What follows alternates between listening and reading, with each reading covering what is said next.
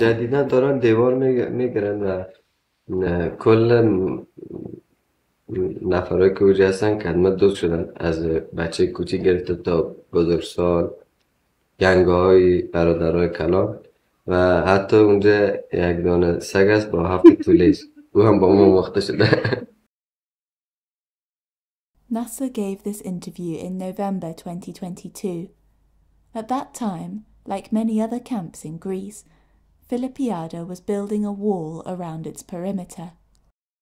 فقط این تو وسط گپایی که زدم یکی از یک پلیسی که من اولین روز یعنی همون صبح که من پیدا کرد ازش تشکری می‌کنم که برای من آتش ما روشن کرد از زیر سرم بالش من می‌خوام از همین چیز ازش تشکر پلیس های همون شهری که من بیمارستان بردن بود. برام غذا میبرده بیمارستان. می‌خوام تشکری کنم ازش.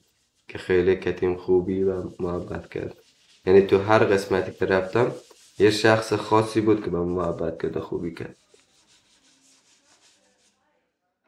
In March 2023, NASA moved from Philippiada to the Katsakas camp near Yanina in northern Greece.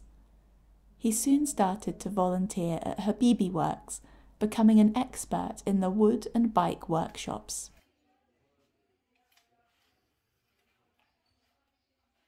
الان تلاشم می است که یه کاری کنم که برسانم بار بیارم پیش خود. که هم خیال خودم راحت باشه هم چی میگن بفهمم که دیگه راحت هستم مشکلی براشون. تلاش کنم که همین فرقای کوچیک و نجات پرستی و چیزایی که بعد از از نسل آینده میاد حتی همون خودم که هستم دور کنم از For approximately one year, NASA lived in Katsakas, volunteering regularly at Habibi Works. But in early 2024, he received the news he'd been waiting for. His asylum application had been approved, and NASA was free to leave Greece and build a life in Switzerland.